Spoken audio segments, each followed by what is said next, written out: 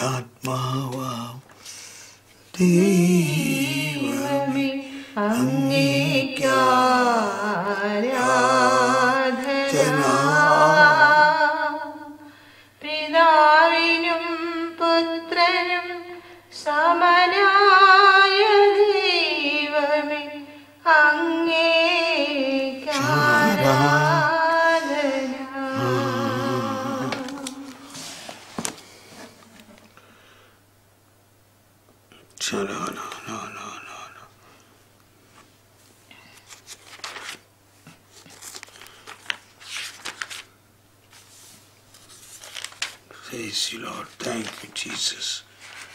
ഈശോയെ നന്ദി ഈശോയെ. ഈശോയെ നന്ദി ഈശോയെ. നന്ദി ഈശോയെ. എല്ലാവരും സ്വീകരിച്ചുകൊണ്ട് സ്വീകരിച്ചുകൊണ്ട്. ഇത് നമ്മൾ പാടാൻ പോകുന്ന സങ്കീർത്തനം വളരെ പ്രത്യേകതയുള്ള സങ്കീർത്തനമാണ്. നൂറ്റി ഇരുപത്തൊന്നാം സങ്കീർത്തനമാണ് നമ്മൾ പാടാൻ പോകുന്നത്. നൂറ്റി ഇരുപത്തൊന്നാം സങ്കീർത്തനം. നൂറ്റി ഇരുപത്തൊന്നാം സങ്കീർത്തനം. പർവതങ്ങളിലേക്ക് ഞാൻ കണ്ണുകൾ ഉയർത്തുന്നു. എനിക്ക് സഹായം എവിടെ നിന്ന് വരും? ഇത് വളരെ വലിയ ഒരു രഹസ്യമാണ്. ഈശോയുടെ പ്രാർത്ഥന തന്നെയാണ്. നമ്മൾ ഈശോ പ്രാർത്ഥിച്ച പ്രാർത്ഥനകളാണ് ഇപ്പോൾ പഠിച്ചുകൊണ്ടിരിക്കുന്നത്. ഈശോ പ്രാർത്ഥിച്ചു. ഈശോ എങ്ങനെ പ്രാർത്ഥിച്ചു എന്ന് ഞങ്ങളെ പഠിപ്പിക്കണേ എന്ന് ശിഷ്യന്മാർ ഈശോയുടെ അടുത്ത് പറഞ്ഞു. ഇതും ഈശോ പ്രാർത്ഥിച്ച പ്രാർത്ഥനകൾ തന്നെയാണ്. വരുവിൻ നമുക്ക് ചേർന്ന് പാടി പ്രാർത്ഥിക്കാം. പർവതങ്ങളിലേക്കു ഞാൻ കണ്ണുകൾ ഉയർത്തുന്നു. എനിക്കു സഹായം എവിടെ നിന്നു വരും? എനിക്കു സഹായം. കർത്താവിൽ നിന്നു വരും ആകാശവും ഭൂമിയും സൃഷ്ടിച്ച കർത്താവിൽ നിന്ന് പർവതങ്ങളിലേക്കു ഞാൻ കണ്ണുകൾ ഉയർത്തുന്നു. എനിക്കു സഹായം. എവിടെ നിന്നു വരും? എനിക്കു സഹായം കർത്താവിൽ നിന്നു വരുന്നു. നിന്റെ കാൽ വഴുതാൻ അവിടന്നു സമ്മതിക്കുകയില്ല. നിന്നെ കാണുന്നവൻ ഉറക്കം തൂങ്ങുകയില്ല. ഇസ്രായേലിന്റെ പരിപാലകൻ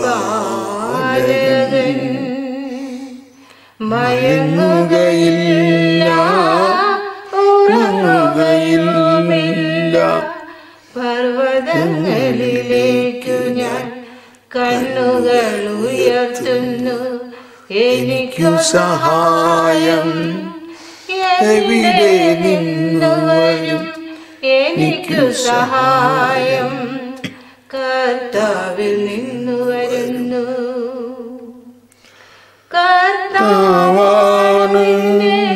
കാവൽക്കാരൻ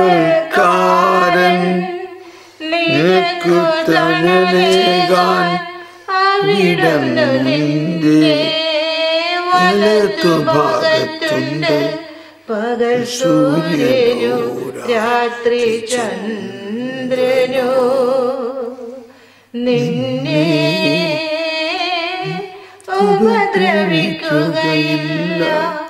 പർവതങ്ങളിലേക്കു ഞാൻ കണ്ണുകൾ ഉയർത്തുന്നു. എനിക്കു സഹായം എവിടെ നിന്നു വരും? എനിക്കു സഹായം കർത്താവിൽ നിന്നു വരുന്നു. സകലത്തിൻ മകളിലും കർത്താവ് നിന്നെ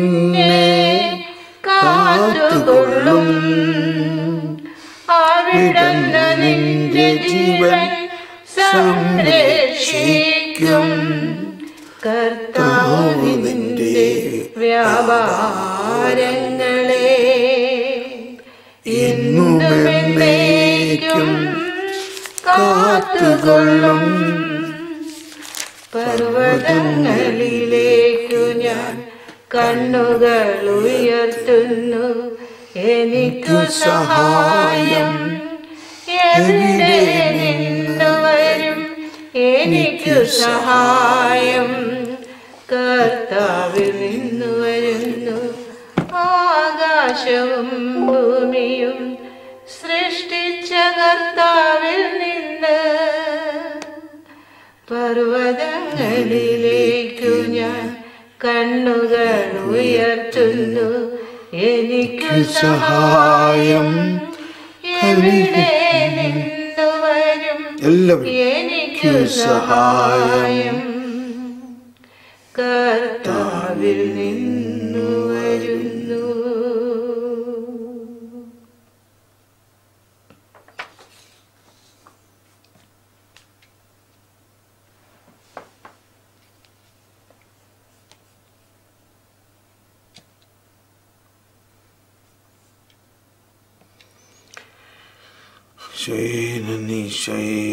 ഇന്നത്തെ നമ്മളുടെ ഉദ്ധരണി.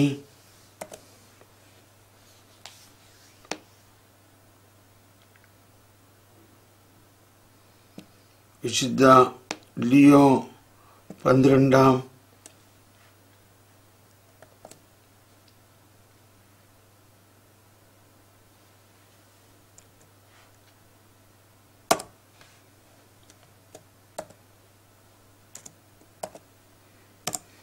യെസ് ഇതിനകം ഗർഭപാത്രത്തിൽ ഉരുവാക്കപ്പെട്ട സഭ. കുരിശിലെ ഉറക്കത്തിൽ രണ്ടാമത്തെ ആദാമിന്റെ പാർശ്വത്തിൽ നിന്ന് പുറപ്പെടുകയും മഹത്തായ പന്തക്കൊസ്താ ദിനത്തിൽ ആദ്യമായി മനുഷ്യരുടെ മുമ്പാകെ സ്വയം പ്രത്യക്ഷപ്പെടുകയും ചെയ്തു. ലിയോ പന്ത്രണ്ടാം മന്മാർ പാപ്പ ഡിവിനം ഇല്യൂഡ് മ്യൂണസ്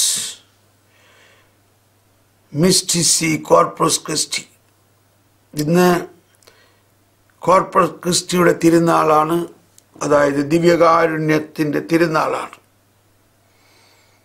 സഭയുടെ ആരാധനാക്രമത്തിലെ പന്തക്കൊസ്ത കഴിഞ്ഞ് ത്രിത്വത്തിന്റെ തിരുനാൾ കഴിഞ്ഞ് ഇതാ നമ്മൾ വിശുദ്ധ കുർബാനയുടെ തിരുനാളിലേക്ക് വന്നിരിക്കുന്നു.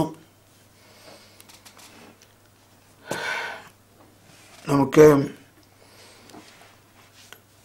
ഇന്ന് നൽകുന്ന ഈ ഉദ്ധരണി സ്വീകരിക്കാം. ഇതിനകം ഗർഭത്തിൽ ഉരുവാക്കപ്പെട്ട സഭ കുരിശിന്റെ ഉറക്കത്തിൽ രണ്ടാമത്തെ ആദാമിന്റെ പാർശ്വത്തിൽ നിന്ന് പുറപ്പെടുകയും അതായത് കുരിശിൽ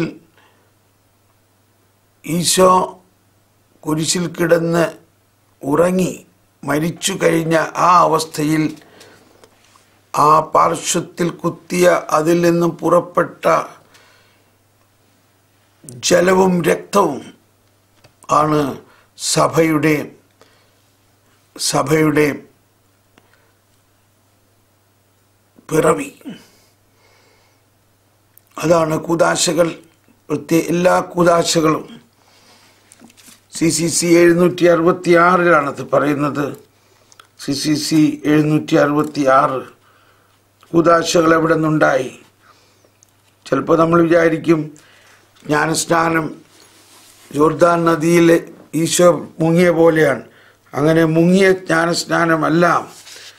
നമ്മൾ സ്വീകരിക്കുന്ന ജ്ഞാനസ്നാനം ഈശോയുടെ ഹൃദയത്തിൽ നിന്നൊഴുകിയ എഴുന്നൂറ്റി അറുപത്തി ആറ് സഭ ജനിക്കുന്നത് പ്രഥമമായി നമ്മുടെ രക്ഷയ്ക്ക് വേണ്ടി ക്രിസ്തു വിശുദ്ധ കുർബാനയുടെ സ്ഥാപനത്തിൽ മുൻകൂട്ടി നടത്തുകയും കുരിശിൽ പൂർത്തിയാക്കുകയും ചെയ്ത സമ്പൂർണമായ ആത്മദാനത്തിൽ നിന്നാണ്. കുരിശിലെ ക്രൂശിതനായ യേശുവിന്റെ തിരുവിലാവിൽ നിന്നൊഴുകിയ രക്തവും ജലവും സഭയുടെ ഉദ്ഭവത്തെയും വളർച്ചയെയും പ്രതീകാത്മകമായി സൂചിപ്പിച്ചു. ലുമൻജൻഷ്യം മൂന്നിൽ പറയുകയാണ് എന്തെന്നാൽ കുരിശിൽ മരണനിദ്രയിലായിരുന്ന ക്രിസ്തുവിന്റെ പാർശ്വത്തിൽ നിന്നാണ് സഭ മുഴുവനുമാകുന്ന വിസ്മയനീയ വിസ്മയനീയമായ കൂതാശ ബഹിർഗമിച്ചത്. ഉറങ്ങുന്ന ആദത്തിന്റെ പാർശ്വത്തിൽ നിന്ന് ഹവ രൂപവത്കരിക്കപ്പെട്ടതുപോലെ കുരിശിൽ തറയ്ക്കപ്പെട്ട മരിച്ച ക്രിസ്തുവിന്റെ പിളർക്കപ്പെട്ട ഹൃദയത്തിൽ നിന്നാണ് സഭ ജനിച്ചത്. വിശുദ്ധ അംബ്രോസ്. പിതാക്കന്മാരെല്ലാം ഇതിനെക്കുറിച്ച് പറഞ്ഞിരിക്കുന്നു. അതാണ് ഇന്ന് കോർപ്പസ് ക്രിസ്റ്റി ആഘോഷിക്കുമ്പോൾ നമ്മൾ ഓർക്കുന്നത്. Praise the Lord praise the Lord എല്ലാവർക്കും സ്വാഗതം. എല്ലാവർക്കും സ്വാഗതം. ഇന്നത്തെ ഈ തിരുനാളിന്റെ മംഗളങ്ങൾ എല്ലാവർക്കും ആശംസിക്കുന്നു. നമ്മുടെ ജീവിതത്തിൽ ഇതാ നമ്മൾ ലോകത്തിന്റെ നാനാഭാഗത്ത് ഒരുമിച്ച് കൂടിയിരിക്കുന്ന നിങ്ങളെല്ലാവരെയും പ്രത്യേകം സ്വാഗതം ചെയ്യുന്നു. നമ്മളെ സംബന്ധിച്ച് വിശുദ്ധ കുർബാന എല്ലാ ദിവസവും തിരുനാൾ പോലെ തന്നെയാണ് ആഘോഷമായി വിശുദ്ധ കുർബാന അർപ്പിക്കുന്നവരാണ് നമ്മൾ. എന്നാൽ ഇപ്പോൾ ഈ കാലഘട്ടത്തിൽ വളരെ ബുദ്ധിമുട്ടുകളുണ്ട്. നമ്മൾ ക്ലാസ്സിലേക്ക് നേരെ കയറുകയാണ്. നമ്മൾ പഠിച്ചുകൊണ്ടിരിക്കുന്നത് ഈശോ പ്രാർത്ഥിച്ച കാര്യമാണ്. രണ്ടായിരത്തി അറുന്നൂറ്റി ഒന്നാമത്തെ ഖണ്ഡികയാണ് ഇന്ന് നമ്മൾ പഠിക്ക പഠിക്കുന്നത്. രണ്ടായിരത്തി അറുന്നൂറ്റി ഒന്ന് സി സി സി രണ്ടായിരത്തി അറുന്നൂറ്റി ഒന്ന് two thousand six hundred and one happy feast Kurian Joseph സാറേ. കുര്യൻ ജോസഫ് സാറിന് വളരെ പ്രിയപ്പെട്ട ഒരു തിരുനാളാണ് കാരണം ഇന്ന് വരെ ഒരു ദിവസം പോലും കുർബാന മുടക്കാത്ത ഒരാളാണ് കുര്യൻ ജോസഫ് സാർ. അങ്ങനത്തെ ഒരു സ്വഭാവമാണ്. ഫ്രേസ് ദ ലോഡ് കർത്താവ് അത് അനുവദിച്ചു. ദൈവം തിരി നന്ദി. എല്ലാവർക്കും വിശുദ്ധ കുർബാനയുടെ തിരുനാളിന്റെ മംഗളങ്ങൾ.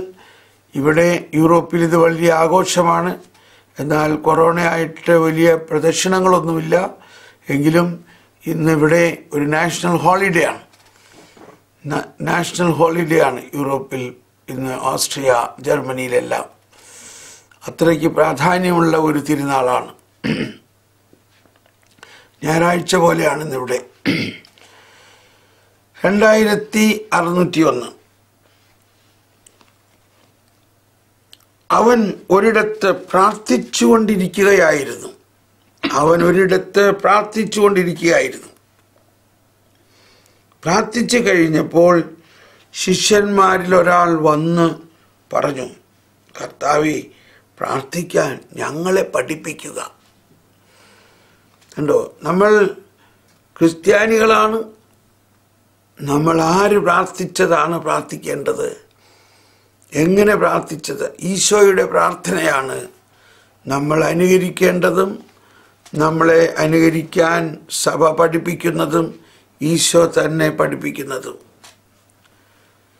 യെസ് കർത്താവെ പ്രാർത്ഥിക്കാൻ ഞങ്ങളെ പഠിപ്പിക്കുക. എല്ലാവരും ഒന്ന് പറഞ്ഞ് കർത്താവെ പ്രാർത്ഥിക്കാൻ ഞങ്ങളെ പഠിപ്പിക്കുക. അന്നും ഇന്നും എന്നും ഈശോ തന്നെയാണ് പ്രാർത്ഥിക്കാൻ നമ്മളെ പഠിപ്പിക്കുക. ഗുരു പ്രാർത്ഥിക്കുന്നത് ശ്രദ്ധിച്ചപ്പോഴല്ലേ ക്രിസ്തുവിന്റെ ശിഷ്യനും പ്രാർത്ഥിക്കാൻ ആഗ്രഹമുണ്ടായത്? അതാണ് ഗുരു പ്രാർത്ഥിക്കുന്നത് ശ്രദ്ധിച്ചപ്പോഴല്ലേ ക്രിസ്തുവിന്റെ ശിഷ്യനും പ്രാർത്ഥിക്കാൻ ആഗ്രഹമുണ്ടായത്? പ്രൈസ് ദ ലോഡ് അപ്പോഴാണ് പ്രാർത്ഥനയുടെ ഗുരുവിൽ നിന്ന് അത് പഠിക്കാൻ സാധിച്ചത്.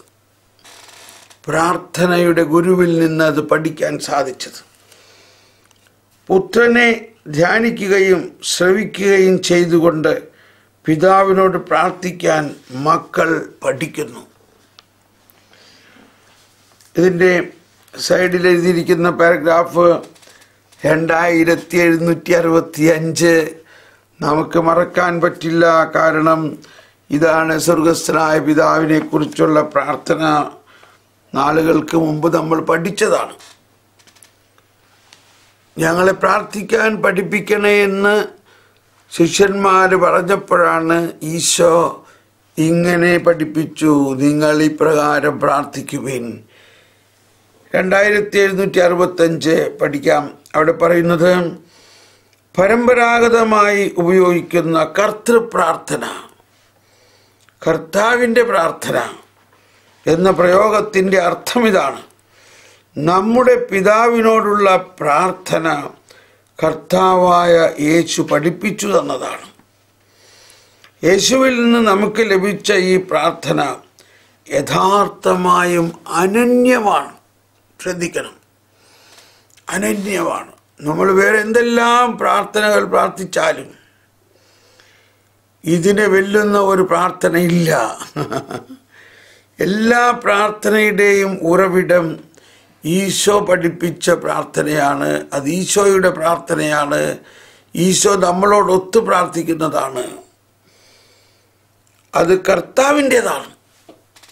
ഒരു വശത്ത് ഈ പ്രാർത്ഥനയുടെ വാക്കുകളിൽ ഏകപുത്രൻ പിതാവിൽ നിന്ന് സ്വീകരിച്ച വാക്കുകൾ നമുക്ക് നൽകുന്നു. അതാണ് സ്വർഗസ്ഥനായ പിതാവ് എന്നുള്ള പ്രാർത്ഥനയുടെ ഒരു പ്രധാന രഹസ്യം ദൈവവചനം തന്നെയാണ് ആ പ്രാർത്ഥന.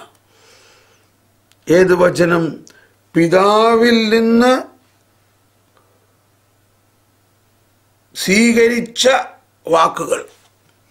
ഈശോ പറയുന്ന വചനം പിതാവിനോട് ഏകസത്തയായിരുന്ന വചനം തന്നെയാണ്. പിതാവിൽ നിന്ന് സ്വീകരിച്ചതാണ്. ഞാൻ പറയുന്നത് സ്വമേധയാ പറയുന്നതല്ല. എന്നിൽ വസിക്കുന്ന പിതാവ് തന്റെ പ്രവൃത്തി ചെയ്യുകയാണ്. അപ്പോൾ ഈ ഒരു വശത്ത് ഈ പ്രാർത്ഥനയുടെ വാക്കുകളിൽ ഏകപുത്രൻ പിതാവിൽ നിന്ന് സ്വീകരിച്ച വാക്കുകൾ നമുക്ക് നൽകുന്നു. യോഹന്നാന്റെ സുവിശേഷം പതിനേഴാം അധ്യായം ഏഴാമത്തെ വചനത്തിലാണ് അത് പറയുന്നത്. ഈശോ പ്രാർത്ഥിച്ചപ്പോൾ ഇത് തന്നെയാണ് പറയുന്നത്. യോഹന്നാന്റെ സുവിശേഷം പതിനേഴ് ഏഴ്. പെട്ടെന്ന് അതൊന്ന് വായിക്കാം. പതിനേഴ് ഏഴ് എടുത്ത മോളെ. പതിനേഴ് ഏഴ്. യോഹന്നാൻ പതിനേഴ് ഏഴ്. യോഹന്നാൻ പതിനേഴ് ഏഴ്. പതിനേഴ് ഏഴിൽ പറയുന്നത് അവിടുന്ന് എനിക്ക് നൽകിയതെല്ലാം അങ്ങിൽ നിന്നാണെന്ന് അവർ ഇപ്പോൾ അറിയുന്നു. അവിടുന്ന് എനിക്ക് നൽകിയതെല്ലാം അങ്ങിൽ നിന്നാണെന്ന് ഇപ്പോൾ അറിയുന്നു. അതാണ്. ഇനി തുറന്ന് വായിക്കാം. രണ്ടായിരത്തി എഴുന്നൂറ്റി അറുപത്തഞ്ച് യേശുവാണ് നമ്മുടെ പ്രാർത്ഥനയുടെ ഗുരു. യേശുവാണ് നമ്മുടെ പ്രാർത്ഥനയുടെ ഗുരു. മറുവശത്ത് മനുഷ്യാവതാരം ചെയ്ത വചനം. തന്റെ മാനവ ഹൃദയത്തിൽ തന്റെ മനുഷ്യരായ സഹോദരി സഹോദരന്മാരുടെ ആവശ്യങ്ങൾ അറിയുകയും അവയെ നമുക്ക് വെളിപ്പെടുത്തുകയും ചെയ്യുന്നു. അവിടുന്ന് നമ്മുടെ പ്രാർത്ഥനയുടെ മാതൃകയാണ്. വലിയ രഹസ്യമാണിത്. വലിയ രഹസ്യമാണ് നമ്മളിത് പല പ്രാവശ്യം പഠിപ്പി പഠിച്ചിട്ടുള്ളതാണ്. സ്വർഗസ്നായ പിതാവേ എന്നുള്ള പ്രാർത്ഥന സാവധാനത്തിൽ പ്രാർത്ഥിക്കണം. ഓടിപ്പടഞ്ഞ് പ്രാർത്ഥിക്കരുത്. അത് അങ്ങനെ അങ്ങനെ ഒരു മന്ത്രം പോലെ പ്രാർത്ഥിക്കാനുള്ളതല്ല എന്നെല്ലാം നമ്മൾ പഠിച്ചു. നമ്മൾ സി സി സിയുടെ തൊണ്ണൂറാമത്തെ എപ്പിസോഡിലാണ് നമ്മൾ പഠിച്ചത്. ഒരു മണിക്കൂർ എടുത്ത് എങ്ങനെ സ്വർഗസ്ഥനായ പിതാവ് പ്രാർത്ഥിക്കണമെന്നെല്ലാം. അതുകൊണ്ട് ഇതിനെക്കുറിച്ച് ഇനി വിശദമായിട്ട് പറയുന്നില്ല. പർവതങ്ങളിലേക്ക് കണ്ണുകൾ ഉയർത്തുന്നു. കണ്ണുകൾ എനിക്ക് സഹായം എവിടെ നിന്നു വരും? എനിക്ക് സഹായം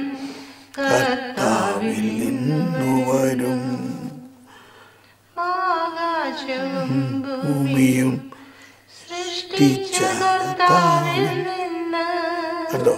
ആരാണ് ഈ ആകാശവും ഭൂമിയും സൃഷ്ടിച്ച കർത്താവ്? പിതാവായ ദൈവം തന്നെയാണ്.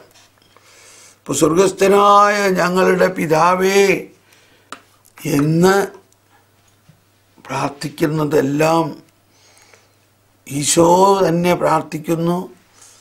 നമ്മളോടൊത്ത് പ്രാർത്ഥിക്കുന്നു. അവതീർണ വചനമായ ഈശോ പ്രാർത്ഥിക്കുന്നു. ഈശോ ആകുന്ന വചനം പിതാവിൽ നിന്ന് പുറപ്പെടുന്നതാണ്.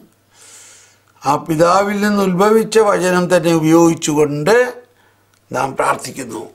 ഇനി നമ്മൾ അടുത്ത രണ്ടായിരത്തി അറുന്നൂറ്റി രണ്ടിലേക്ക് വരുന്നു. രണ്ടായിരത്തി അറുന്നൂറ്റി രണ്ടിലേക്ക് വരുന്നു.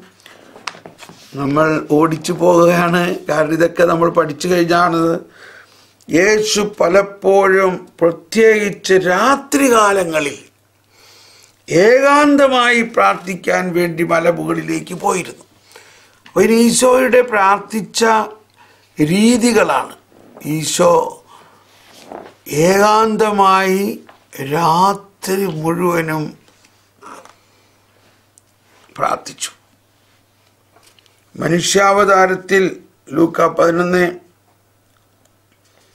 ലൂക്ക മർക്കോസ് ഒന്ന് മുപ്പത്തഞ്ച് മർക്കോസ് ആറ് നാൽപ്പത്തി ആറ് ലൂക്ക അഞ്ച് പതിനാറ് ഇവിടെ എല്ലാം എഴുതിയിരിക്കുന്നതാണ്. ഈശോ പലപ്പോഴും പ്രത്യേകിച്ച് രാത്രികാലങ്ങളിൽ ഏകാന്തമായി പ്രാർത്ഥിക്കാൻ വേണ്ടി മലമുകളിലേക്ക് പോയിരുന്നു. അപ്പോൾ ഈ മലമുകൾ എന്ന് പറയുന്നത് അതാണ് പർവതങ്ങളിലേക്ക് കണ്ണുകൾ ഉയർത്തി. മലമുകൾ എന്ന് പറയുന്നത് ദൈവ സാന്നിധ്യത്തിന്റെ ഒരു അടയാളമായിരുന്നു അന്നെല്ലാം. മനുഷ്യാവതാരത്തിൽ മാനവികതയെ സാംശീകരിക്കുക വഴി മനുഷ്യാവതാരം എന്ന് പറഞ്ഞാൽ ദൈവം മനുഷ്യനായി അവതരിച്ചു എന്ന് പറഞ്ഞാൽ മനുഷ്യരുടെ എല്ലാ മനുഷ്യരുടെയും മാനവികതയെ സാംശീകരിച്ചു. യേശു ഏറ്റെടുത്തു. തന്റെ ശരീരത്തിൽ. അതാണ് ഈശോയുടെ ശരീരം. ഈശോയുടെ ശരീരത്തിൽ എല്ലാ മനുഷ്യരും ഒന്നായിരിക്കുന്നു. മനുഷ്യാവതാരത്തിൽ മാനവികതയെ സാംശീകരിക്കുക വഴി അവിടുന്ന് തന്റെ പ്രാർത്ഥനയിൽ എല്ലാ മനുഷ്യരെയും ഉൾപ്പെടുത്ത ഉൾപ്പെടുത്തുകയും തന്നെ തന്നെ പിതാവിന് സമർപ്പിക്കുമ്പോൾ അവരെയും പിതാവിന് സമർപ്പിക്കുകയും ചെയ്യുന്നു. അവരെയും പിതാവിന് സമർപ്പിക്കുകയും ചെയ്യുന്നു. പ്രൈസ് ദ ലോഡ് എല്ലാ മനുഷ്യരെയും. അതാണ് നമ്മൾ പല പ്രാവശ്യം മനസ്സിലാക്കുന്നു. ഫ്രത്തേലി തൂറ്റി എല്ലാവരും യേശുവിന്റെ സഹോദരി സഹോദരന്മാരാണ്.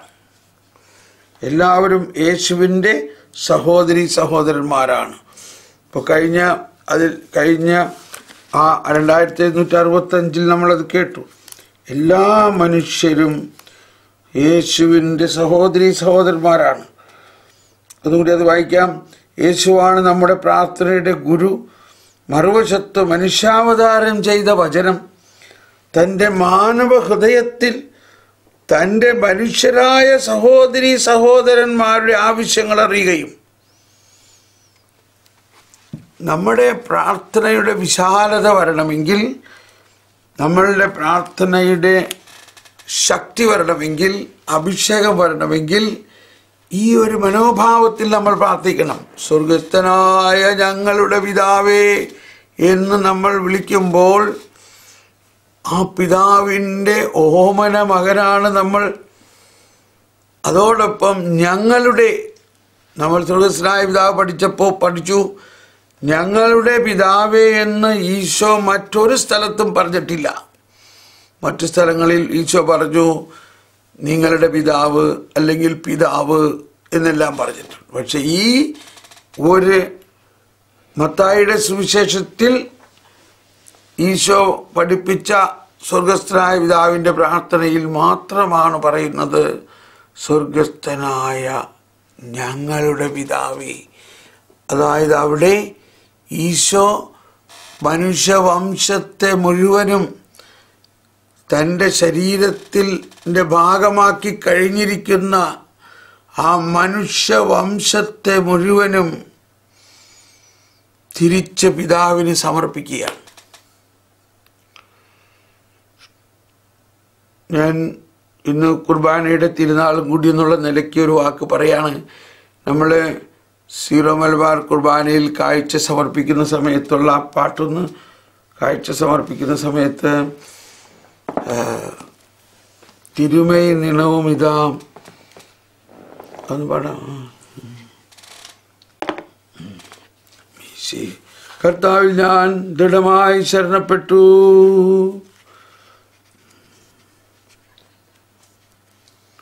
ഇവിടെ ഉണ്ട് ഇവിടെ ഉണ്ട്.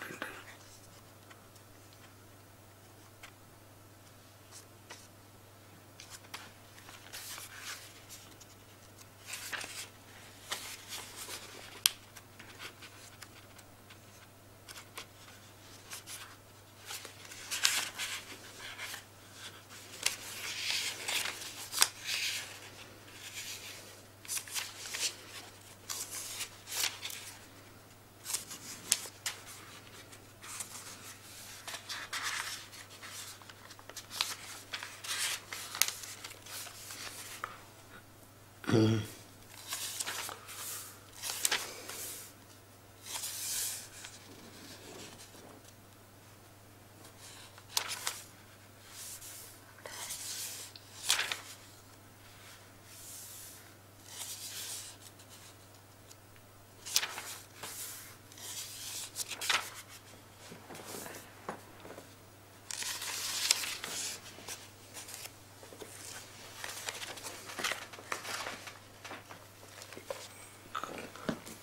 കർത്താവിൽ ഞാൻ ദൃഢമായി ശരണപ്പെട്ടു. കർത്താവിൽ ഞാൻ ദൃഢമായി ശരണപ്പെട്ടു. മിഷിഹ കർത്താവിൻ തിരുമൈ നിണവുമിതാ. പാവന ബലിപീഠേ സ്നേഹഭയങ്ങളൊടണയുകനാം അഖിലരുമൊന്നായി സന്നിധിയിൽ വാനവനിരയോട് ചേർന്നേവം പാടാം ദൈവം പരിശുദ്ധൻ പരിശുദ്ധൻ. നിത്യം പരിശുദ്ധൻ. ഞാനിത് ഇതിനുമുമ്പ് പറഞ്ഞിട്ടുള്ളതാണ്. എനിക്ക് നല്ല ഓർമ്മയുണ്ട്. എങ്കിലും വീണ്ടും പറയുകയാണ്. അപ്പോൾ ഒരു സ്ഥലത്ത് ഇങ്ങനെ കുർബാന അർപ്പിച്ചപ്പോൾ ഗായക സംഘം ഈ കുർബാന ഈ പാട്ട് പാടിയില്ല. വേറെ ഒരു പാട്ട് പാടി. അതാണ്. അപ്പോൾ ഞാൻ കുർബാന കഴിഞ്ഞപ്പോൾ ആ സഹോദരനോട് ഒരു സ്നേഹത്തോടെ ചോദിച്ചു അതെന്താ ആ പാട്ട് പാടാഞ്ഞ്? ആ അത് ഇപ്പോൾ മിശികർത്താവിന്റെ ശരീരം ആയിട്ടില്ലല്ലോ. നമ്മൾ അർപ്പിക്കണ അപ്പവും വീഞ്ഞും അത് മിശാകർത്താവിന്റെ ശരീരമാണെന്ന് പറയണ എന്തിനാ? ഞാൻ പറഞ്ഞു എടാ മോനെ എനിക്കങ്ങ് ഭയങ്കര വേദന വന്നു. അത് കേട്ടപ്പോൾ അപ്പോ എന്തിനു പറയണു? അച്ഛനും ഇത് ഇങ്ങനെയൊക്കെ പാടിയാൽ മതി എന്നാ പറഞ്ഞെന്ന് പറഞ്ഞു. അതും കൂടി കേട്ടപ്പോൾ പൂർത്തിയായി. ഇതാണ്. അപ്പം ഞാൻ പറഞ്ഞു മോനെ ഈ സഭാപിതാക്കന്മാർ ഈ കുർബാന പുസ്തകത്തിൽ ഇത്രയും വർഷമായിട്ട് എഴുതിയിരിക്കുന്ന ഈ വിസ്മയനീയമായ കാര്യങ്ങൾ നമുക്ക് അർത്ഥം ഗ്രഹിക്കാത്തത് കൊണ്ടല്ലേ മനസ്സിലാകാത്തത്?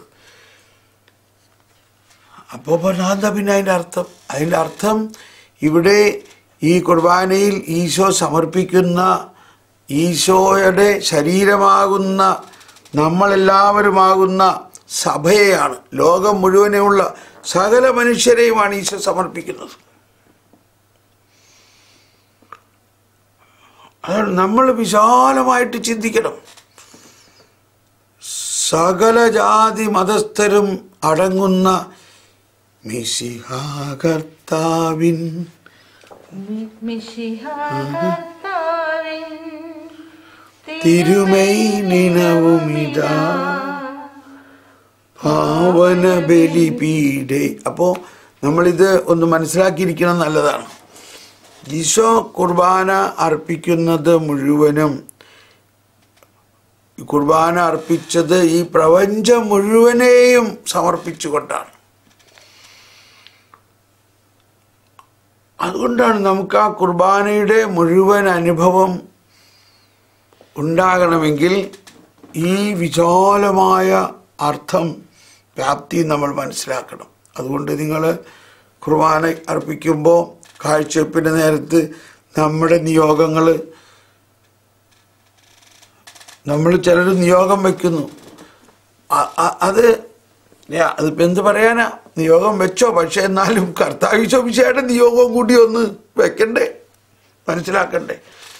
കർത്താവിശ്വമിശ്യ എന്ത് നിയോഗത്തിലാണ് അർപ്പിച്ചത് അതാണ് സുവിശേഷം ലോകം മുഴുവൻ പടരണമെങ്കിൽ മര്യാദയ്ക്ക് കുർബാന ചൊല്ലിയാൽ മതി. ഞാൻ ഓർക്കുകയാണ് ഉത്തരേന്ത്യയിലെല്ലാം ഞാൻ പോയപ്പോൾ അവിടുത്തെ മിഷൻ സ്റ്റേഷനുകളിൽ പള്ളി തന്നെ പള്ളി പണിയുന്നതിന് മുൻപ് ഒരു വൈദികൻ മിഷനറി ആയിട്ട് അവിടെ വന്നു. വന്നാൽ ആദ്യം അവിടെ വലിയൊരു മരത്തിന്റെ ചോട്ടിൽ ഒരു രണ്ട് കമ്പെടുത്ത് ഇങ്ങനെ കുരിശുണ്ടാക്കി നാട്ടി അവിടെയുള്ള ആൾക്കാർ എല്ലാം വെച്ചുകൊണ്ട് വൈദികൻ കുർബാനയിൽ. അങ്ങനെ കുറേ ദിവസം കഴിഞ്ഞപ്പോൾ പിന്നീടാണ് പള്ളിയൊക്കെ ഉണ്ടാകുന്നത് അപ്പോൾ ഞാൻ അവിടെ ചെന്നപ്പോൾ ഞാൻ പള്ളിയിലേക്ക് പോകുമ്പോൾ ആൾക്കാർ പറഞ്ഞു ഇല്ല വൈസാബ് ആദ്യം അവിടെ ആ മരത്തിന്റെ ചോട്ടിൽ ചെന്നിട്ട് ഞങ്ങളൊന്ന് അവിടെയാണ് ആദ്യം കുർബാനയില്ല? അതുകൊണ്ട് അവിടെ ചെന്നിട്ട് കർത്താവിനെ ഒന്ന് ഓർക്ക്. വന്നിട്ടാണ് ഞങ്ങൾ പള്ളിക്കാരുടെ കണ്ടോ? ആദ്യം കുർബാന ചെല്ലിയ ആ സ്ഥലം. അപ്പോൾ മിഷൻ എന്ന് പറയുമ്പോൾ നമ്മുടെ ഹൃദയം അല്ലെങ്കിൽ പ്രാർത്ഥന എന്ന് പറയുമ്പോഴും സുവിശേഷ ദൗത്യം എന്ന് പറയുമ്പോഴും എല്ലാം ഈശോയുടെ ഹൃദയത്തിൽ നിന്നാണ് ഇതെല്ലാം ഉത്ഭവിക്കുന്നത്. പ്രത്യേകിച്ച് തിരുഹൃദയത്തിന്റെ വാസമാണ് നമ്മളിപ്പോൾ നമ്മൾ ആ ഹൃദയത്തിന്റെ വിശാലതയെ വെട്ടിക്കുറയ്ക്കരുത്. അത് വെട്ടിക്കുറയ്ക്കുമ്പോൾ ഈശോ ഉദ്ദേശിച്ച അർത്ഥത്തിൽ എങ്ങും നിൽക്കുന്നില്ല. ഓക്കെ. നമ്മൾ രണ്ടായിരത്തി അറുന്നൂറ്റി രണ്ടിലേക്ക് വരികയാണ്.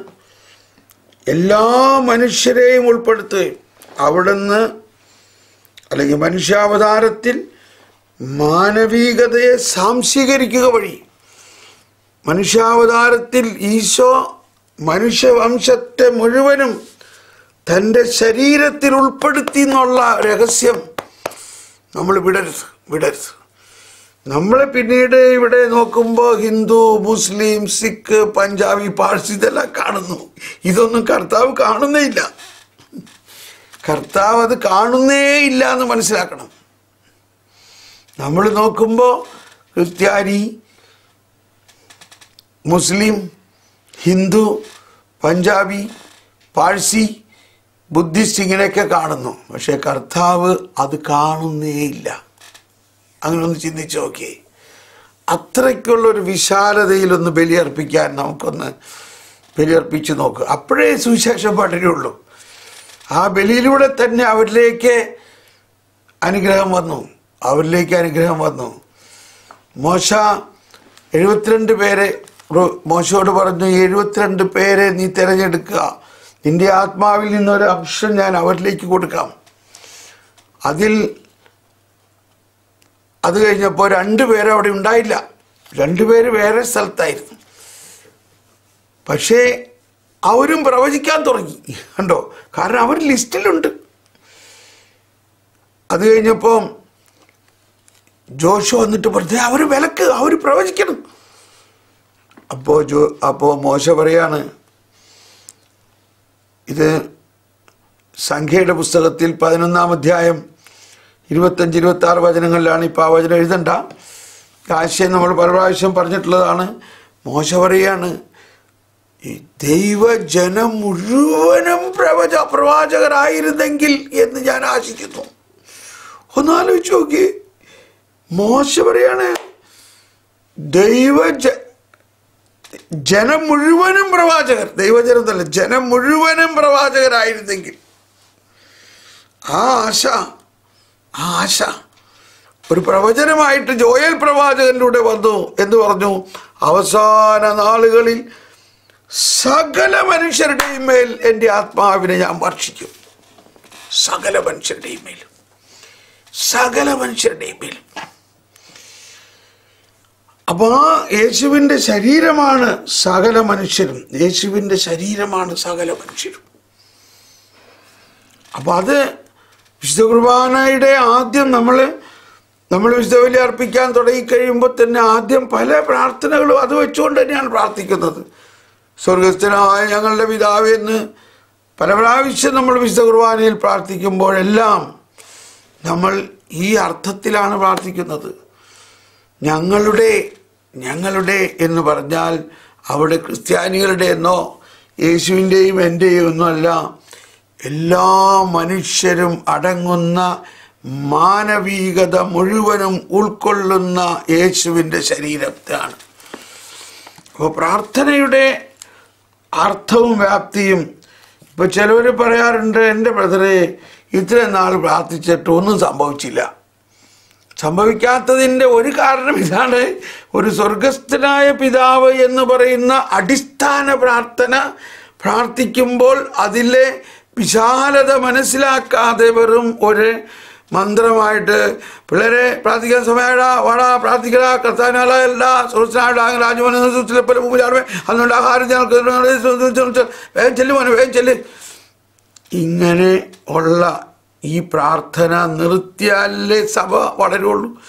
ഞാൻ അല്ലെങ്കിൽ നമ്മളെല്ലാവരും തന്നെ വേദനിക്കുന്ന വേദനിക്കണം ഇതിൽ. നമ്മുടെ കത്തോലിക്ക സഭയിൽ മര്യാദയ്ക്കൊരു സ്വർഗസ്ഥനായ പിതാവ് നന്നായിട്ട് പ്രാർത്ഥിക്കുകയാണെങ്കിൽ തന്നെ സഭ മനോഹരമാവും. ഇത് മാത്രം മതി. അതുകൊണ്ട് നിങ്ങളെങ്കിലും സ്വർഗസ്ഥനായ പിതാവ്. ഒന്ന് ഈ ആശയം ഉൾക്കൊണ്ടുകൊണ്ട് സാവധാനത്തിൽ പ്രത്യേകിച്ച് കുർബാനയുടെ സമയത്ത് സാവധാനത്തിൽ ഈ ആശയം ഉൾക്കൊണ്ടുകൊണ്ടൊന്ന് പ്രാർത്ഥിക്കുമ്പോൾ സഭ എന്തോ ഒരു മനോഹരമാകും ലോകം മനോഹരമാകും എന്ന് ഞാൻ വീണ്ടും പറയാൻ ആഗ്രഹിക്കുകയാണ്. നമ്മൾ വീട്ടിൽ കുടുംബത്തിൽ എല്ലാം പ്രാർത്ഥിക്കുമ്പോൾ കുട്ടികളെ പ്രാർത്ഥിക്കാൻ പഠിക്കുമ്പോഴെല്ലാം ഇത് ഓർക്കണം. വിശ്വാസിയുടെ പ്രാർത്ഥന ആയിരിക്കണം അത്. അപ്പോൾ വീണ്ടും പറയുകയാണ് മനുഷ്യാവതാരത്തിൽ മാനവികതയെ സാംശീകരിക്കുക വഴി അതാണ്. അവിടുന്ന് തന്റെ പ്രാർത്ഥനയിൽ എല്ലാ മനുഷ്യരെയും ഉൾപ്പെടുത്തുകയും തന്നെ തന്നെ പിതാവിന് സമർപ്പിക്കുമ്പോൾ അവരെയും പിതാവിന് സമർപ്പിക്കുകയും ചെയ്യുന്നു മാംസം ധരിച്ച വചനമായ അവിടുന്ന് തന്റെ മാനുഷിക പ്രാർത്ഥനയിലൂടെ. കണ്ടോ? മാനുഷിക പ്രാർത്ഥന എന്ന് പറഞ്ഞാൽ നിസാര മനുഷ്യരല്ല അവിടെ നിൽക്കുന്നത്. മാനുഷിക പ്രാർത്ഥനയിലൂടെ അവിടുത്തെ സഹോദരങ്ങൾ. ആരാണ് അവിടുത്തെ സഹോദരങ്ങൾ? അവിടുത്തെ സഹോദരങ്ങൾ എന്ന് പറയുന്നത് സകല ജാതി മതസ്ഥരും. അവിടുത്തെ സഹോദരങ്ങൾ ജീവിതത്തിൽ അനുഭവിക്കുന്ന എല്ലാറ്റിലും പങ്കാളിയാകുന്നു. എല്ലാറ്റിലും. ഈശോ പറഞ്ഞിട്ടുണ്ട് എന്റെ ഈ ചെറിയവരിൽ എന്റെ സഹോദരങ്ങളിൽ ഈ ചെറിയവരിൽ ഇതെല്ലാം പറയാറുണ്ട്. അവരെ മോചിപ്പിക്കാൻ വേണ്ടി അവരുടെ ദൗർബല്യങ്ങളോടെ അവരുടെ ദൗർബല്യങ്ങളോട് അവിടുന്ന് സഹാനുഭൂതി കാട്ടുന്നു. സഹാനുഭൂതി കാട്ടുന്നു. നാൽപ്പത്തേഴ് എബ്രായർ രണ്ട് പന്ത്രണ്ട് എബ്രായർ പതിനഞ്ച് നാല് പതിനഞ്ചെല്ലാം നമ്മുടെ ബലഹീനതകളിൽ നമ്മോട് സഹതപിക്കാൻ പറ്റാത്ത ഒരു പ്രധാന പുരോഹിതനാണോ നമുക്കുള്ളത്? അതൊക്കെയാണ് ആ വചനങ്ങൾ. അവരെ മോചിപ്പിക്കാൻ വേണ്ടി അവരുടെ ദൗർബല്യങ്ങളോട് അവിടുന്ന് സഹാനുഭൂതി കാട്ടുന്നു. ഉണ്ടോ ഇതിനു വേണ്ടിയായിരുന്നു പിതാവ് അവിടെ അയച്ചത് യേശുവിന്റെ വാക്കുകളും പ്രവൃത്തികളും അവിടുത്തെ രഹസ്യ പ്രാർത്ഥനയുടെ ദൃശ്യാവിഷ്കരണമാണ്. യേശുവിന്റെ യേശുവിന്റെ വാക്കുകളും പ്രവൃത്തികളും അവിടുത്തെ രഹസ്യ പ്രാർത്ഥനയുടെ ദൃശ്യാവിഷ്കരണമാണ്. അവിടുത്തെ രഹസ്യ പ്രാർത്ഥനയിൽ യേശു പ്രാർത്ഥിച്ചത് ഈ മനുഷ്യവംശം മുഴുവന്റെയും പ്രയാസങ്ങളെയും ദുഃഖങ്ങളെയും ബലഹീനതകളെയും എല്ലാം ഉൾക്കൊടുത്തുകൊണ്ടാണ്. ഇനി അറുന്നൂറ്റി പതിനാറാമത്തെ കണ്ണി എടുക്കാൻ നമുക്ക്. നമ്മുടെ സമയം കഴിഞ്ഞെങ്കിലും അതുകൂടി കഴിഞ്ഞ് നമുക്ക് കംപ്ലീറ്റ് ആക്കാൻ പറ്റുള്ളൂ. നമ്മളങ്ങനെ കുറച്ച് മുന്നോട്ട് ഓടണം. അറുന്നൂറ്റി പതിനാറ് യേശു കുരിശിൽ തന്റെ ബലി പൂർത്തിയാക്കുന്നു. കണ്ടോ? ക്രിസ്തുവിന്റെ ബലിക്ക് വീണ്ടെടുപ്പ്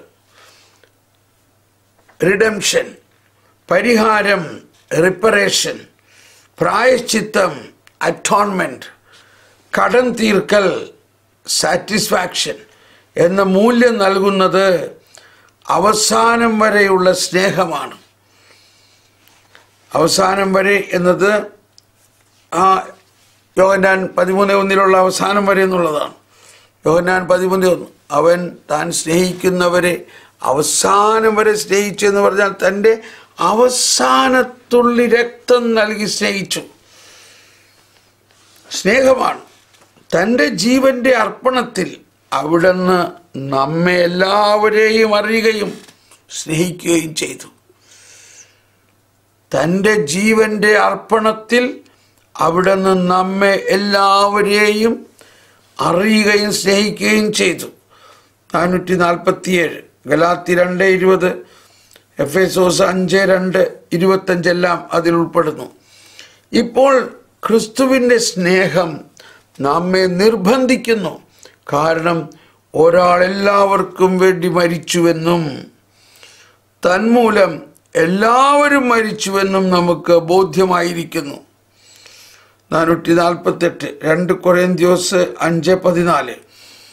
എല്ലാവരുടെയും പാപങ്ങൾ ഏറ്റെടുക്കാനും എല്ലാവർക്കും വേണ്ടിയുള്ള ബലിയായി തന്നെ തന്നെ അർപ്പിക്കാനും ഒരു മനുഷ്യനും ഏറ്റവും വിശുദ്ധനായവന് പോലും ഒരിക്കലും കഴിഞ്ഞിരുന്നില്ല. പ്രൈസ് ലോഡ് ഒരേ സമയത്ത് എല്ലാ മനുഷ്യ വ്യക്തികൾക്കും ഉപരിയായി നിൽക്കുകയും അവരെല്ലാം ആശ്ലേഷിക്കുകയും മനുഷ്യവർഗത്തിന്റെ മുഴുവനും ശിരസായി തന്നെ തന്നെ സ്ഥാപിക്കുകയും ചെയ്യുന്ന ദൈവീക വ്യക്തിയായ പുത്രൻ ക്രിസ്തുവിൽ സ്ഥിതി ചെയ്യുന്നതിലൂടെ എല്ലാവർക്കും വേണ്ടി വീണ്ടെടുപ്പിന്റെ ബലി അർപ്പിക്കാൻ അവിടത്തേക്ക് സാധിക്കുന്നത്. കണ്ടോ ഇവിടെയും നമ്മൾ നേരത്തെ പറഞ്ഞ കാര്യം വളരെ കൃത്യമായി വരുന്നു. വിശുദ്ധ അഗസ്തീനോസ് എല്ലാം ഇത് പറയാറുണ്ട്. യേശു കുരിശിൽ കിടക്കുമ്പോൾ ആ ശരീരത്തിൽ മനുഷ്യവംശം മുഴുവനും ഉൾപ്പെടുന്നു. എന്തുകൊണ്ടെന്നാൽ യേശു ജനിച്ചപ്പോഴും ആ ശരീരത്തിൽ മനുഷ്യവംശം മുഴുവനും ഉണ്ടായിരുന്നു. അതുകൊണ്ടാണ്. മനുഷ്യാവതാരത്തിൽ മനുഷ്യവംശത്തെ മുഴുവനും തന്റെ ശരീരത്തിൽ സ്വീകരിച്ച ആ ശരീരം തന്നെയാണ് കുരിശിൽ ബലിയായി അർപ്പിക്കപ്പെട്ടത്. അതാണ് ഇവിടെ പറയുന്നത് ഏറ്റവും ഒരേ സമയത്ത് എല്ലാ മനുഷ്യ വ്യക്തികൾക്കും ഉപരിയായി നിൽക്കുകയും ദൈവം തന്നെയാണ് മനുഷ്യായി അവതരിച്ചു. എന്നാൽ പാപം എന്തെന്നറിയാത്ത പരമപരിശുദ്ധനായി നിൽക്കുന്നു. അവരെ എല്ലാം ആശ്ലേഷിക്കുകയും അടിവരയിടേണ്ട വാക്കാണ് അടുത്തത്. മനുഷ്യവർഗത്തിന്റെ മുഴുവനും ശിരസായി. ഈ വാക്കാണ് കുർബാനയിൽ പല സ്ഥലത്ത് നമ്മൾ പ്രാർത്ഥിക്കുന്നത് മനുഷ്യവർഗത്തിന്റെ പ്രത്യാശയായ ക്രിസ്തുവെ എന്ന് പ്രാർത്ഥിക്കുന്നു. എന്റെ അപ്പോൾ മനുഷ്യവർഗത്തിന്റെ മുഴുവനും ശിരസായി തന്നെ തന്നെ സ്ഥാപിക്കുകയും ചെയ്യുന്ന ദൈവീക വ്യക്തിയായ പുത്രൻ ക്രിസ്തുവിൽ സ്ഥിതി ചെയ്യുന്നതിനാലാണ് എല്ലാവർക്കും വേണ്ടി വീണ്ടെടുപ്പിന്റെ ബലി സമർപ്പിക്കാൻ അവിടത്തേക്ക് സാധിക്കുന്നത്. ഭൂലോകഭാവം നീക്കുന്ന ഭൂലോകഭാവം നീക്കുന്ന ഭൂലോകഭാവം നീക്കുന്ന ദൈവത്തിന്റെ ചെമ്പരിയാട്ടിൻകുട്ടിയായ തമ്പുരാനെ എന്നെല്ലാം പറയുമ്പോൾ ഭൂലോകപാപം എല്ലാ മനുഷ്യരുടെയും പാപം യേശു തന്റെ ശരീരത്തിൽ ഏറ്റെടുത്തു. അതെ നമുക്കെല്ലാവർക്കും അതുകൊണ്ട് ഇന്ന് വിശുദ്ധ കുർബാനയുടെ ഈ തിരുനാൾ ആഘോഷിക്കുമ്പോൾ ഇതാ സിസ്റ്റർ ആനി പ്രഭ അവിടെ നിന്ന് അനൗൺസ് ചെയ്യുന്നു. പരിശുദ്ധ പരമ ദിവ്യകാരുണ്യത്തിന് നേരവും ആരാധനയും സ്തുതിയും പുകഴ്ചയും ഉണ്ടായിരിക്കട്ടെ. നമുക്ക് ഒരു നിമിഷം ഈ രഹസ്യം ഒന്ന് ഓർക്കാം. സ്വർഗസ്ഥനായ ഞങ്ങളുടെ പിതാവേ ഈശോ പ്രാർത്ഥിച്ചുകൊണ്ടിരിക്കുമ്പോൾ അപസ്തോലന്മാർക്ക് പ്രത്യേക ഒരു അനുഭവം ഇതുപോലെ എനിക്കൊന്ന് പ്രാർത്ഥിക്കണമല്ലോ. ഈശോയെ അപ്പം അന്ന് വരെ ഇസ്രായേലിൽ ആരും ദൈവത്തെ പിതാവേ എന്ന് വിളിച്ചിട്ടില്ല. ഇത് മനസ്സിലാക്കണം. ഈശോ ആണ് ദൈവത്തെ പിതാവേ എന്ന് വിളിക്കാൻ നമ്മളെ പഠിപ്പിക്കുന്നതും അങ്ങനെ പിതാവേ എന്ന് വിളിക്കുന്നതിലൂടെ ഈശോ തന്നെയാകുന്ന പുത്രനോടൊപ്പമാണ് നമ്മൾ പ്രാർത്ഥിക്കുന്നത് എന്ന ബോധ്യത്തോടെ വരുവിൻ നമുക്കൊന്ന് സ്വതന്ത്രമായിട്ട് സ്വർഗസ്ഥനായ എല്ലാവരും ഒന്ന് സ്വതന്ത്രമായി സ്തുതിച്ചുകൊണ്ട് അല്ലെങ്കിൽ നമുക്ക് ആ സ്വർഗസ്ഥനായ പിതാവേ എന്നൊന്ന് വിളിക്കാം. സ്വർഗസ്ഥനായ ഞങ്ങളുടെ പിതാവേ എല്ലാവരും എല്ലാവരും ഉച്ചസ്വരത്തിൽ പ്രാർത്ഥിച്ചുകൊണ്ട് സ്വർഗസ്ഥനായ ഞങ്ങളുടെ പിതാവേ അങ്ങയുടെ നാമം പൂജിതമാകണമേ. അങ്ങയുടെ രാജ്യം വരണമേ. അങ്ങയുടെ തിരുമനസ് സ്വർഗത്തിലെ പോലെ ഭൂമിയിലുമാകണമേ അന്നു വേണ്ട ആഹാരം ഇന്ന് ഞങ്ങൾ ഇന്ന് ഞങ്ങൾക്ക് നൽകണമേ. ഞങ്ങളോട് തെറ്റ് ചെയ്തവരോട് ഞങ്ങൾ ക്ഷമിക്കുന്നത് പോലെ ഞങ്ങളുടെ തെറ്റുകൾ ഞങ്ങളോട് ക്ഷമിക്കണമേ. ഞങ്ങളെ പ്രലോഭനത്തിൽ ഉൾപ്പെടുത്തരുതേ. നിന്ന് ഞങ്ങളെ രക്ഷിക്കണമേ. എന്തുകൊണ്ടെന്നാൽ രാജ്യവും ശക്തിയും മഹത്വവും എന്നേക്കും അങ്ങയുടേതാണ്. പർവതങ്ങളിലേക്ക് കണ്ണുകൾ ഉയർത്തുന്നു. എനിക്ക് സഹായം എവിടെ നിന്ന് വരും? എനിക്ക് സഹായം